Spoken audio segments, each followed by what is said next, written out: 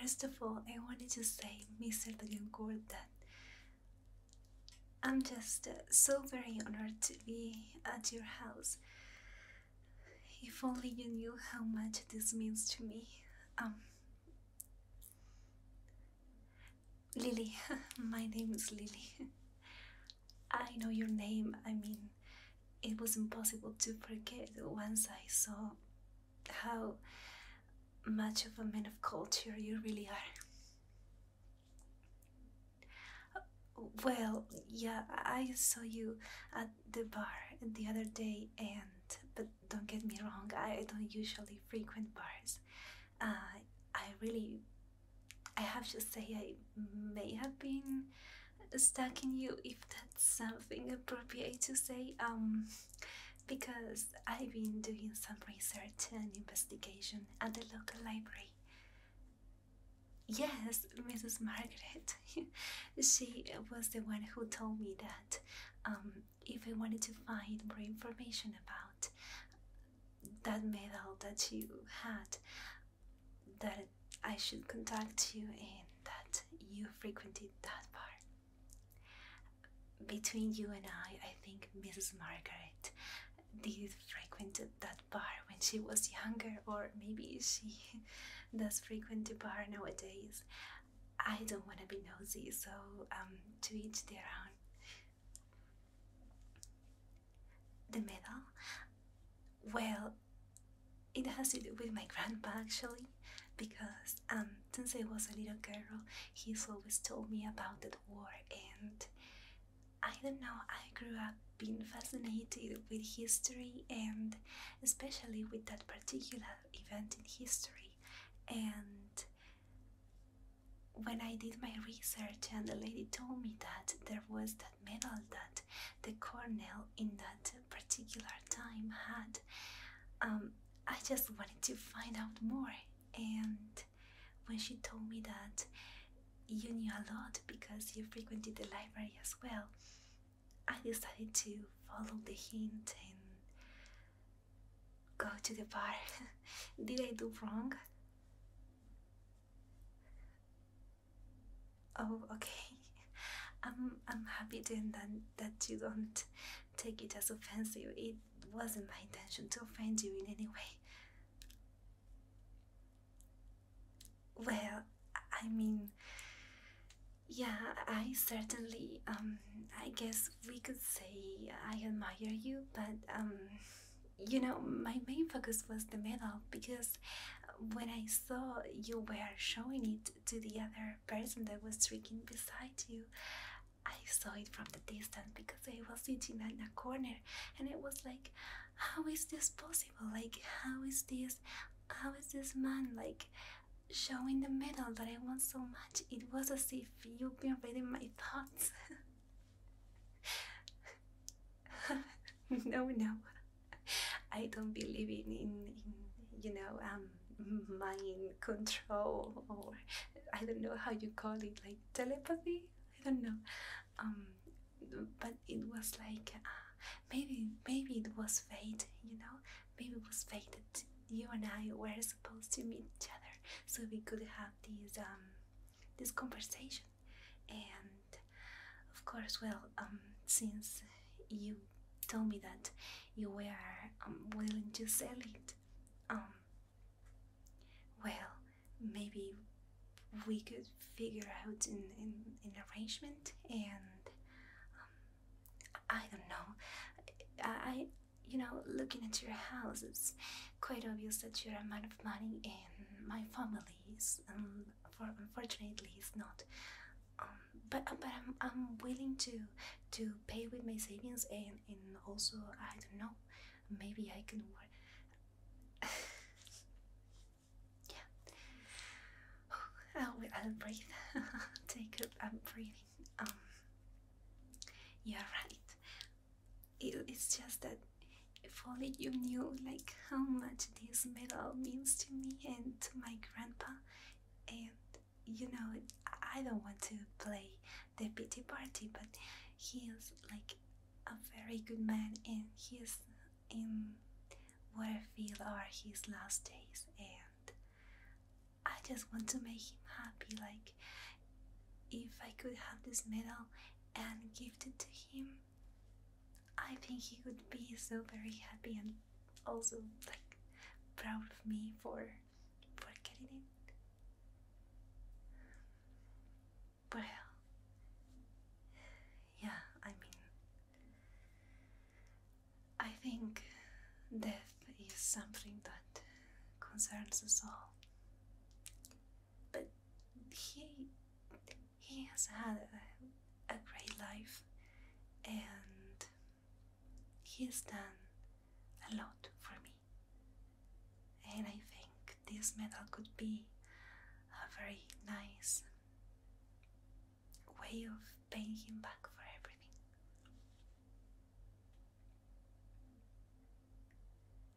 No, well, um, I don't know. I think losing someone you love is quite saddening, but I don't really want to think about that. I mean, there was a way of keeping our loved ones eternal forever, that could be nice, couldn't it?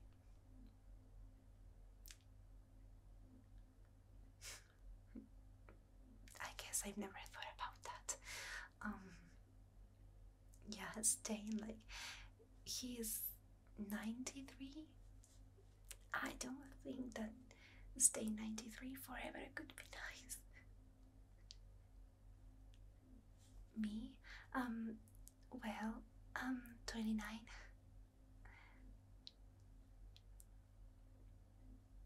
Maybe? Um, maybe? I don't know. It's like um, hypothetical scenario in I don't know what I would do if I if I were to deny forever.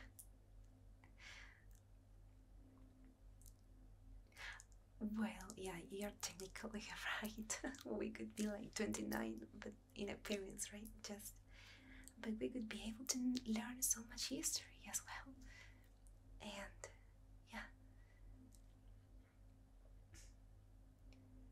Um, no, I, I was just thinking that I could give it to him just like a souvenir or maybe like something he could keep in his pocket and maybe by the time you know death comes for him uh, we could have a little thing to or a symbol to give to him in his burial and his funeral. Um no um as a collar well i guess so. I mean is it possible to put it on a yeah mm, i don't i don't know like i guess it could be nice to have it um around my neck as a way to remember him yeah but first I need to buy it, right? I need to be able to know how we can make an arrangement to buy it. well, if you insist, um, I don't know, maybe? Do you think it could look nice? don't mind me, this is very awkward. Thank you. I appreciate that. I guess it's, it, I guess it's, it's um it's my mother's neck, right? Um, it's um in my family we we have like this um. My mother's neck was longer actually. it was more prettier, more um more swan-like. But yeah, I guess if it's related to keeping it as a souvenir or as a way to remember him, I could proudly wear it around my neck, yeah. Um, I'm fine, but if you want to drink, it's okay. I can wait for you here. Oh uh, no no no! I'm fine. I I don't I don't drink alcohol. I mean, that's why I don't really frequent bars. but um, yeah, a glass of water would be nice. Thank you.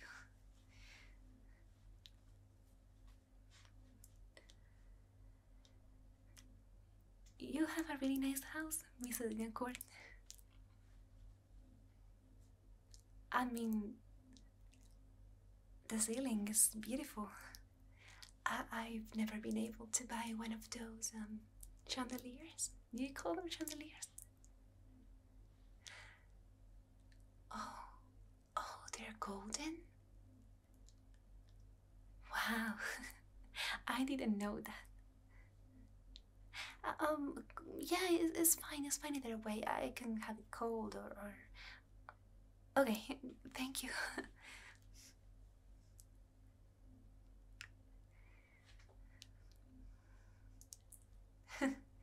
Thank you. I really appreciate it. It's actually a little hot today.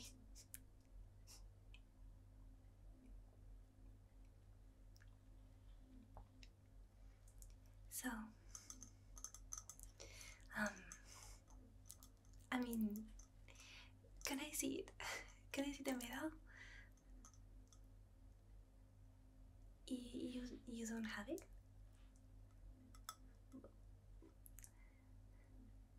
Oh, oh, oh, your friend? That, that's weird, right? um, but yeah, you can you can uh, lend it to anyone. I mean, it's yours. um, do you think your your your friend is coming home soon? Yeah. And nowhere. Um. Uh, no, uh, um, I mean it's it's fine. I guess I I I can wait. But it's actually eleven in the night, and I'm supposed to be back at midnight. I mean, before midnight.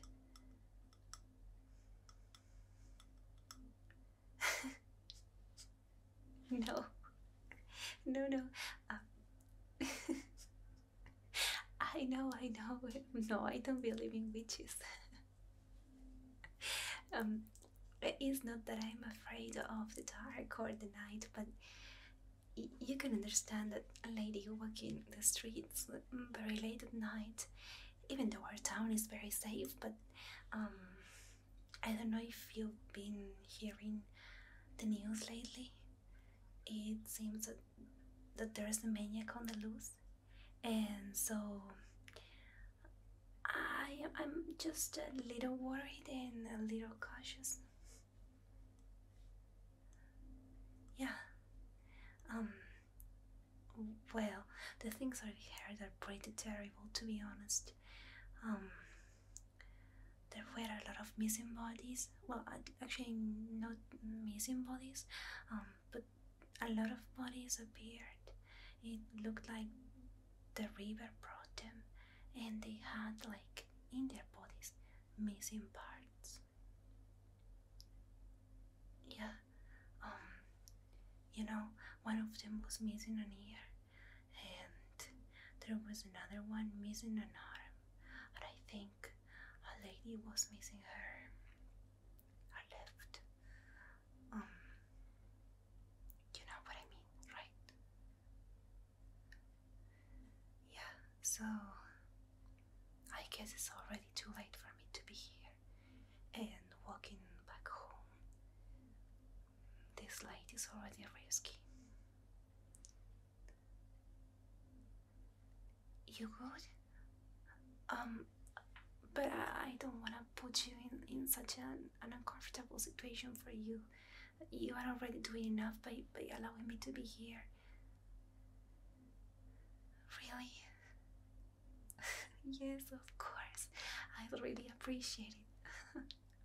I think uh, I think my my mother could be really glad if I walked home with you. I think just um, you know she will see how taller you are and how um, how strong you seem, and she would be like um, glad that I'm I'm safe, right? Oh, well, yes, I guess you inspire safety in people. Otherwise, um, I couldn't be here this late at night.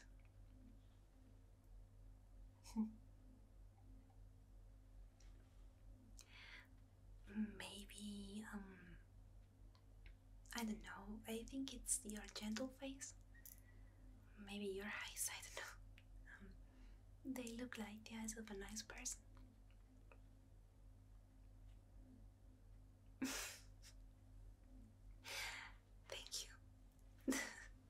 That's gonna make me blush.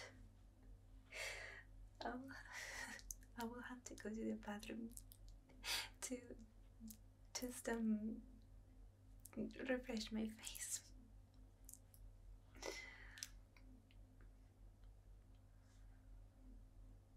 Well, um, I guess if you finding me pretty, allow me to be here to buy this medal. I guess I cannot complain. I mean, it's for my grandpa, and as I've said before, I love him a lot.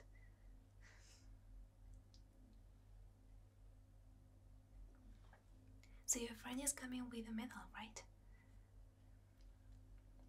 What was your friend's name?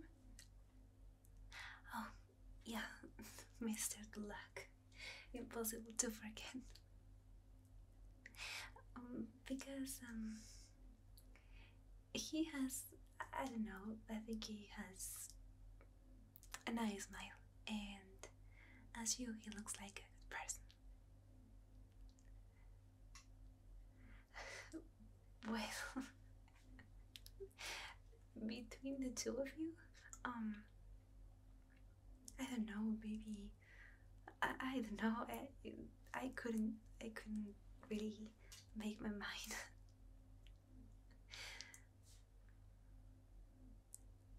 well, I think you you are the one who looks stronger.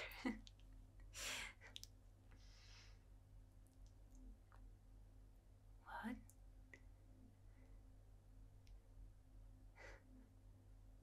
Yeah.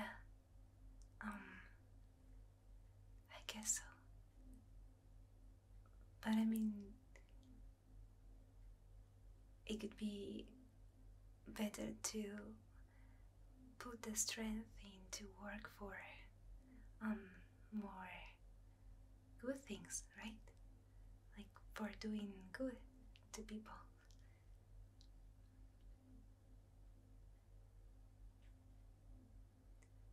Oh. No, I, I didn't know about the the other bodies.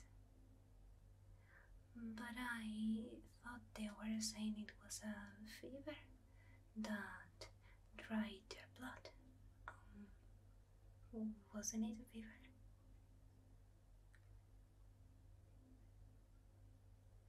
An animal? Yeah, um, I've heard that theory. A strong animal. Yeah. Um, Mr. DeLioncourt, um, I don't want to be rude, but I think I should, um, I should go back home and, um, and, and maybe come back another day or meet you at the bar. Um, yes, I am fine. Oh, uh, yeah, the glass. Um, yeah, um, I think, I think I'm a little dizzy. It may have been, um, it may up in the, the night walk, I don't know. The water. What, what did you put in it?